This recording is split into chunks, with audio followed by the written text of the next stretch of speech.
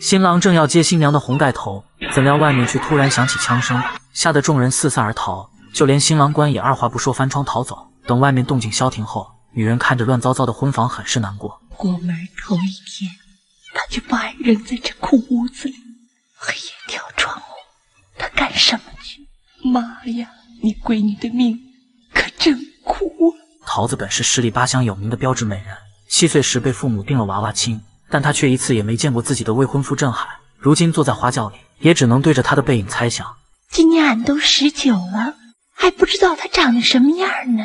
对于未来，桃子总是充满期待。她觉得不论郑海如何，自己这辈子都是他的女人了。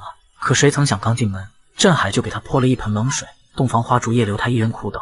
想到这里，桃子不禁掩面而泣。就在她感叹自己命苦时，一阵急促的敲门声响起，居然是去而复返的郑海。窗外大雨滂沱，桃子亲手绣的婚鞋也湿透了。来不及问缘由，她连忙打开窗户，将对方放了进来。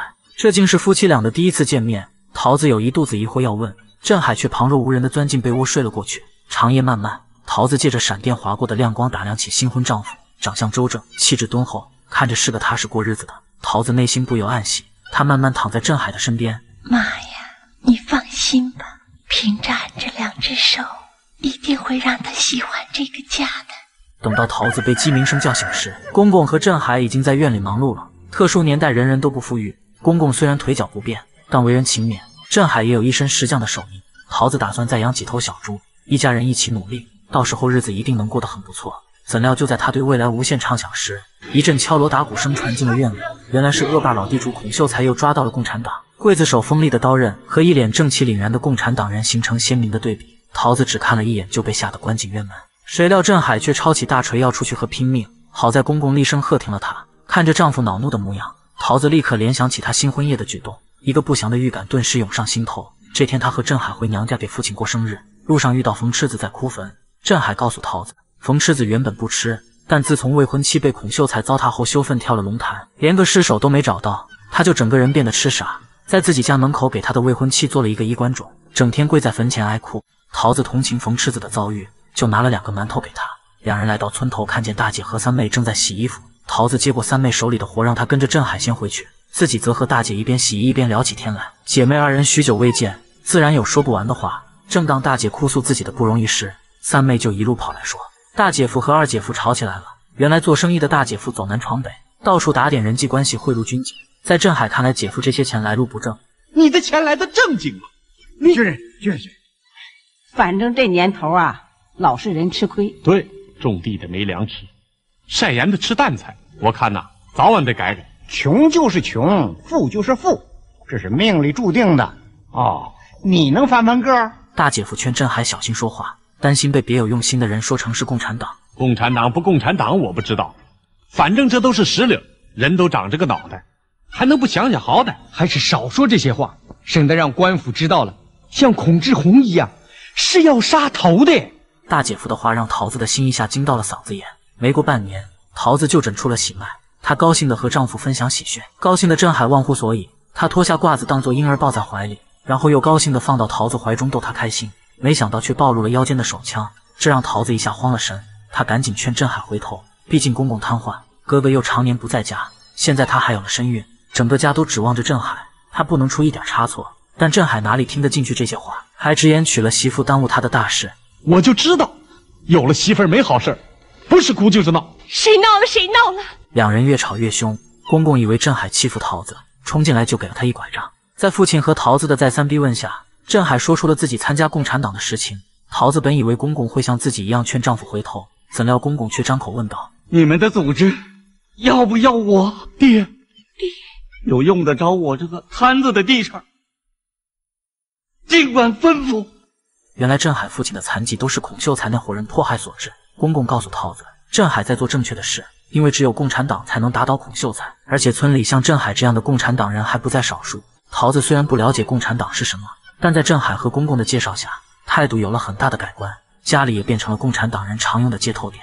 可惜天下没有不透风的墙，孔秀才的人很快闻风赶来。共产党的领导人离开前，将一本小册子交给郑海，并嘱咐他一定严加保管。郑海担心自己被捕，便将册子转交给了桃子，希望他能完成自己的使命。说罢，便像新婚夜一样跳窗离开了。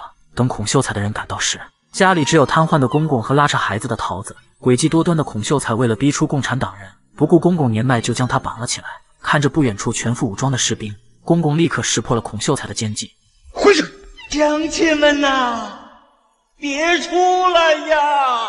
孔秀才的兵包围了村子，打入了路口，引诱你们上钩呢。千万别中他们的奸计呀！公公的话让孔秀才恼羞成怒。他立马命人砍断绳子，将公公摔了个头破血流。孔秀才以为这样就能让公公屈服，于是凑过去逼问共产党人的下落。谁知公公根本不惧生死，还一口鲜血喷了孔秀才一身，当众出丑，让孔秀才彻底怒了。他将公公再度吊起，身下还燃起了熊熊烈火。等天色渐暗时，公公已经彻底没了气息。桃子悲痛万分，但孔秀才根本不给他流泪的机会。他将桃子母子押到街上游行示众，并散播谣言污蔑桃子名声。不明真相的群众受到蛊惑。果然议论起来，想起公公慷慨赴死的英勇模样，桃子也学着鼓起勇气，对着众人开始揭露孔秀才的伪善。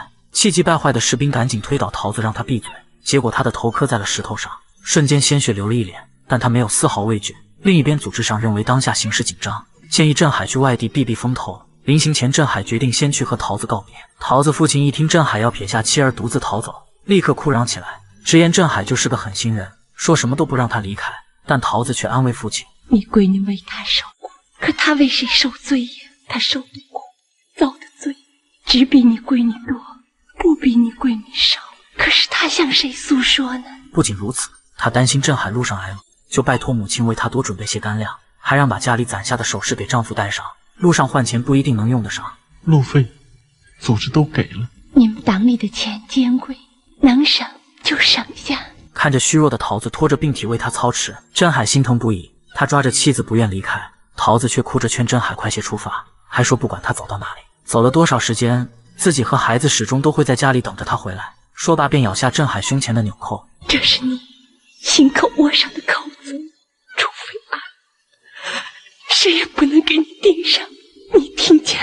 镇海连忙点头应下，可不等夫妻俩把话说完，孔秀才的人就追了过来，镇海只能再度出逃，跑到大姐夫家附近想要避避风头。怎料大姐夫为了避险，说什么也不让他进门。隔壁的小寡妇深知孔秀才的手段，想让镇海去他家躲躲，但镇海却碍于小寡妇的戏子身份，拒绝了他的好意。事后，小寡妇去探望桃子，恰好撞见回来的桃子哥。桃子娘很不解，小寡妇为什么见到他儿子脸色大变，便追出来询问缘由。原来在镇海逃走那晚，他在孔秀才的兵里见到的告密者正是桃子的哥哥。桃子娘失望不已，回家就去质问儿子，而且他刚在街上听说镇海已经被人打死了。今天噩耗在家中传开，桃子直接晕了过去。但孔秀才并未就此放过他，想要借着不明真相的百姓之口，用谣言逼死他。在那个女人名节至上的年代里，丈夫刚死就改嫁，简直就是十恶不赦的大罪过。可桃子就在这样的环境下，被孔秀才逼着嫁给了冯痴子。看着同样惊惧的冯痴子，桃子一头扎进龙潭。好在冯痴子紧跟在后，将他救了下来。看着桃子沉睡的模样，冯痴子认出他就是当初给自己馒头的好心人。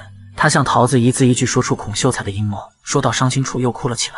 看着赤子这般可怜，桃子决定好好活着，和孔秀才斗到底。为了麻痹孔秀才的眼线，桃子开始走到哪里都带着冯痴子。路人的嘲讽像尖刀刺得他千疮百孔，昔日的老邻居也不解他的选择。孔家叫你嫁人，你就嫁人，你可真听话。你把镇海给忘了，你把镇海的爹也忘了，就连关系亲密的大姐。也恨不得没有她这个妹妹，只有出身不好的小寡妇愿意与她交好。她从来没有贬低过桃子，因为她也是穷苦出身。七岁母亲去世后就进了戏班，十七岁时被冯司令糟蹋，父亲去告状却被孔秀才活活打死。后来又逼着她嫁给孔秀才病重的侄子冲喜，没俩月自己就守了寡。而她一直与镇海的哥哥情投意合，却因为这世俗的观念不敢在一起。她将桃子邀回家中，吃吧。俺真心哥呢，俺让他躲了。俺这一辈子。要么等他的花轿，要么等他的棺材。大伙都瞧不起你，这个滋味俺知道。男的能另娶，女的为什么就不能改嫁？这天，母亲带着三妹和儿子来看桃子。三妹看到桃子给风痴子装东西，立刻就变了脸色。她觉得姐姐改嫁辱了全家人的名声，但母亲并不这么认为。她深知女儿心性，觉得一定另有苦衷。果然，一看到母亲，桃子就哭了起来。她想扑在母亲怀里一诉衷肠。谁料抬头就看见孔秀才的眼线正守在窗外，跑到嘴边的话又咽回肚里，他只能哭着向母亲保证，自己从未做过对不起他人的事情。日子一天天过去，全国革命形势一片大好，孔秀才的势力也不如从前。守在桃子家外的眼线这才被撤了回去。这天晚上，桃子娘正在补衣服，突然一阵敲门声吸引了她的注意。谁呀？我，镇海。你是人是鬼？别吓唬你婶儿。真的是我，从关东回来了。镇海还活着的消息让桃子娘欣喜不已，可想到女儿已经改嫁，她的心又沉了下来。果然，镇海一听桃子改嫁的消息就变了脸色。次日，在父亲的坟前，他遇见了正在祭拜自己的桃子，看着他趴在坟前痛哭流涕的模样，镇海心疼万分。刚准备上前相认，就看到冯痴子找了过来。镇海顿觉遭到背叛，头也不回的离开了。却不知冯痴子赶来，就是为了告诉桃子镇海回来了。桃子闻言高兴不已，赶紧跑去破庙和镇海相会。没想到一眼就看到对方胸前的扣子已经被补了回来。他以为镇海在外面又有了女人，伤心之下也没了对峙的勇气。他哭着离开了破庙。好在冯痴子不想因误会拆散他们，连忙跑去向镇海说明了一切。听闻真相的镇海羞愧不已，他循着桃子的脚步回到昔日的家。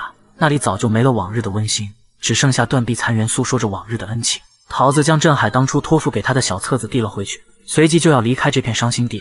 镇海立马喊住桃子，表示自己已经在冯赤子那里知道了所有真相，说着就摘掉了胸前的扣子。桃子见状，终于喜极而泣，他扑进镇海怀里，将多年来的苦楚一一道出。桃子拿出针线，郑重地将扣子缝在镇海胸前。